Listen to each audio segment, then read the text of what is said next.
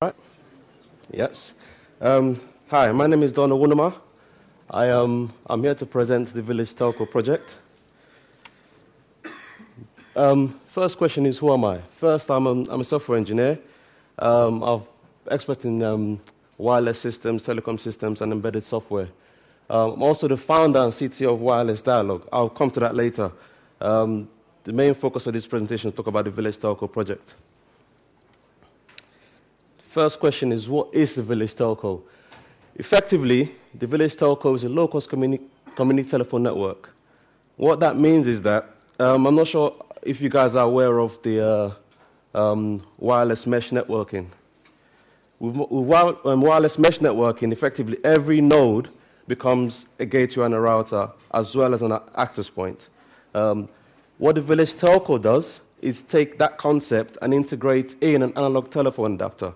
So you can effectively plug in an analog device and an analog telephone and make phone calls. Um, the key points of the project is sets up in minutes. So you don't have to be a bash script wizard to set one up. Um, and also, one of the key questions was that why do you need a village telco? Um, the main problem in developing countries is that um, for access, you need mobile phone towers. Um, in Europe, we, we, um, we're blessed with the fact that there are, that, um, there are copper, um, copper networks and actually fiber networks.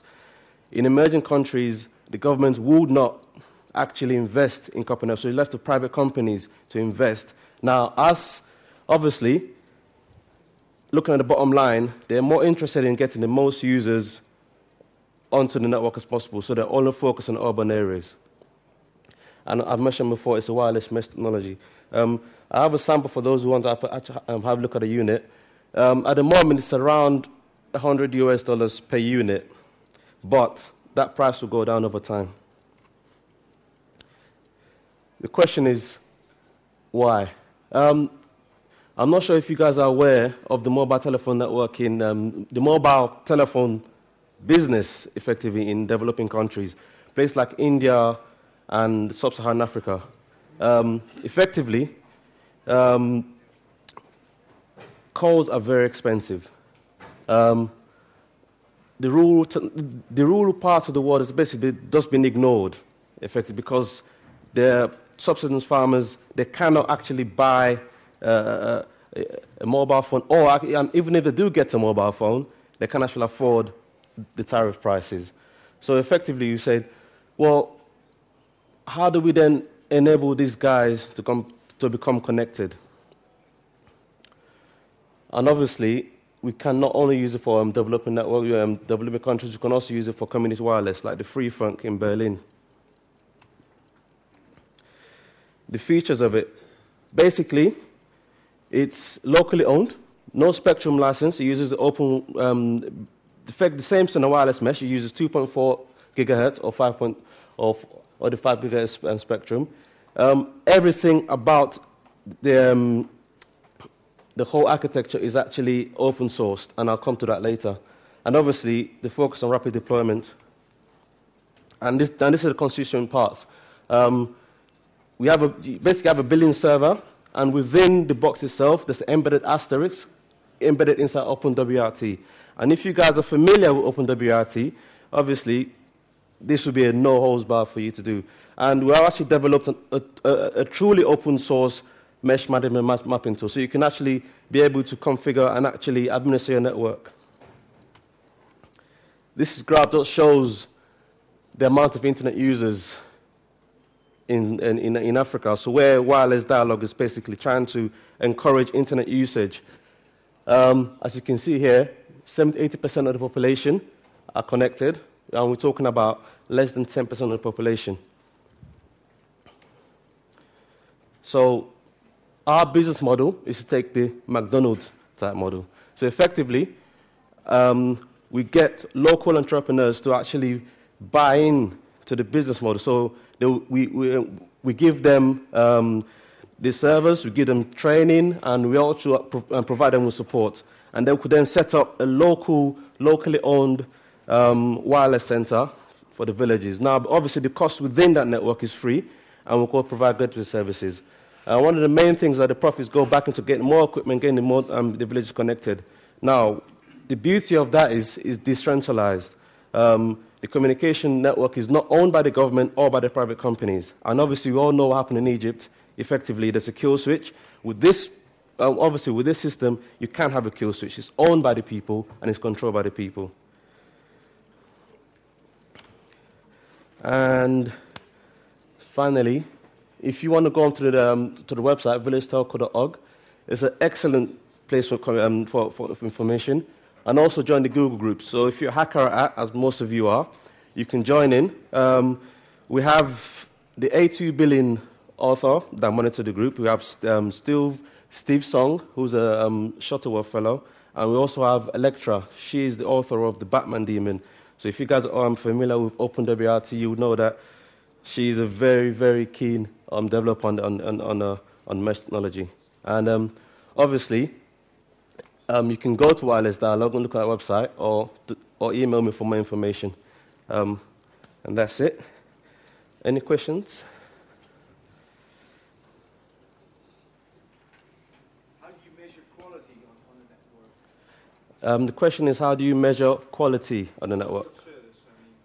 Um, one of the main focus is, you're talking about quality, uh, quality of service. One of the main focus of this was that to be able to use this, obviously you're, you're, you're sharing bandwidth between voice and data. Exactly. But if you think about it, um, although the wireless infrastructure here in Europe is actually quite congested, um, in most of those regions, there is no wireless network. So effectively, you are going to have a single link. Um, obviously, again, with the benefits of, of using mesh technologies, that the more nodes you have, the more routing capabilities you're going to have. So the more infrastructure you build, so 50, 100, 500 nodes, the better your network becomes. And obviously, we'll, by building on a single routing, rather, rather than congesting the space with multiple, with multiple, multiple routers, every router is actually, actually utilizing the network properly.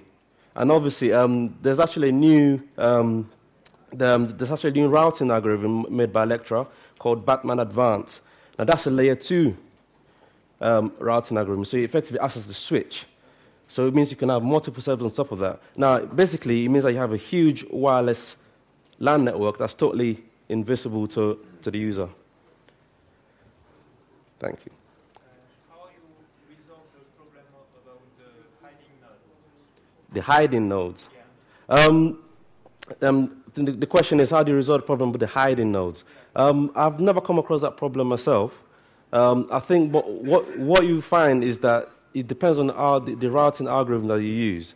Um, if, you, if, if you're going to build a fixed, because most of the time we're going to be the fixed wireless. So if you look at OLSR and if you look at Batman, you have to actually look at what you're building, how you're going to design your network. So it actually comes down to how you design your wireless network initially. So you say, well, if I'm going to have nodes moving around constantly, now which routing algorithm do I use? Um, which one is more preference? So I always find that, you know, the, the weakest part of the point is which, algorithm, which routing algorithm to use initially, and that mostly solves your problem. Okay. Next, do you have any relation with the Serval BatPhone project? Um, the question is, do I have relations with the Serval BatPhone project? Actually, the Serval BatPhone project is a fork of this Village Telco project. Um, Paul Gardner Stevens, he actually approached the group and said that he wants to explore and extend it. Obviously, being open to what it is, um, it was welcome. He's actually put in, put in for those that don't, that don't know, the Batphone project actually utilizes embedded access inside an Android phone.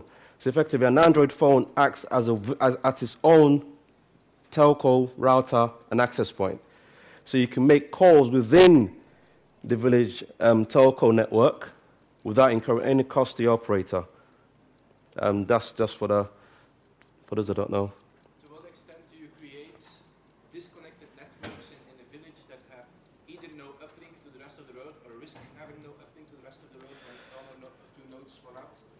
Sorry, can you repeat the question? To what extent do, do, do you in reality create yep.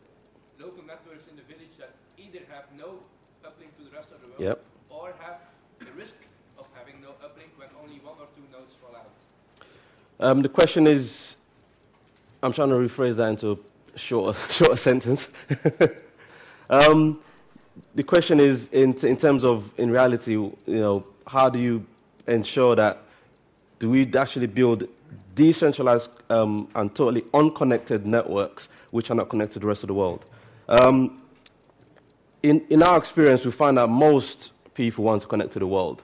Um, and the biggest problem, which is obviously we can't solve with the Village Telco project, is the fact that um, the ISP licenses restricts you from actually gatewaying outside. So governments have actually licensed the spectrum um, specifically for the big telcos. So um, as a small local IP, you have to basically pay maybe 35,000 to 40,000 per year in license cost. Now, if you approach um, the, you know, the, the Belgium um, uh, operators um, in terms of actually having an ISP, it's, it's, virtually at no cost. So you can see the imbalance there. Um, so, that's a, so that's a major hurdle for us at the moment. Um, hopefully, with the, with, the, with the coming of um, uh, fiber broadband across the west coast of Africa, MainOne, and I think and, and a few others, we should be able to alleviate that problem. But again, this is not part of this talk, but we, we're trying to actually build locally owned and locally um, um, um, provided services. So locally designed websites, local, local servers, everything locally derived for the local languages. So hopefully that problem should be alleviated. Yes, please.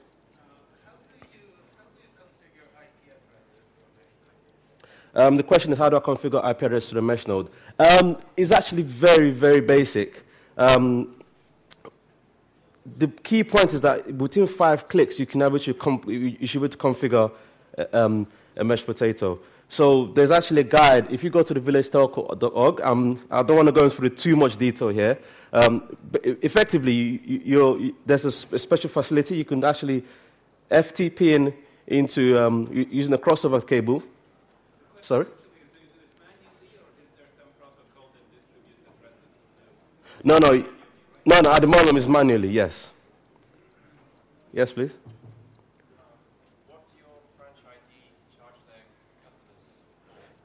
The question is, what do my franchisees and what do our franchise charge the customers? Now, this is a this is where um, we, use, we, we use what we call the tiered model. So we provide services to the enterprises, to the huge companies, and them in turn subsidize the price of the equipment going in to the small businesses and, and, and, and, to the small entrepreneurs. So obviously it's done by, it's, it's done by, um, on, on a local basis. Um, you're not going to charge the same price in South Africa that you would charge somewhere in Niger, for instance, because the income, the, um, the income difference are just too great. So you do it by a um, case by case basis. And obviously if, the, um, if big enterprises that actually want to locate within that region, um, if they take our services, part of the agreement is that within that mesh network that they create for themselves, they could be able to connect and use a downlink and then obviously reduce the cost to, um, to the small village entrepreneur.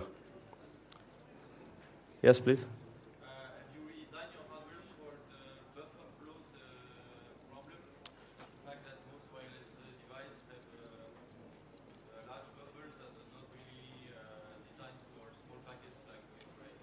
Um, the, question is, have we designed the hardware for that? Um, for, for, for basically the, the, limitations that you have of, of wireless networking. The, um, the answer is the only, the only closed proprietary um, hardware inside the Village Telco is actually an Atheros chip. Um, unfortunately, um, it costs about a quarter of a million dollars to actually get the code within that to actually then modify the blobs, as you say, to actually make the, the route more efficient. Um, now, obviously, we're moving on to software-defined radios.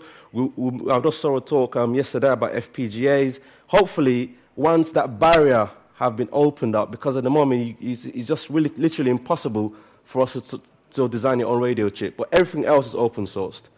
But the problem is now, uh, to answer your question, is um, we, have, we still have that limitation. Yes. Any more questions? Okay. Thank you.